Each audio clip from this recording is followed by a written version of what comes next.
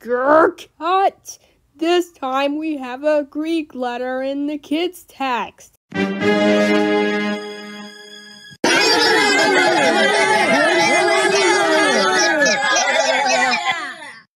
Oh my gosh! You think it's a joke?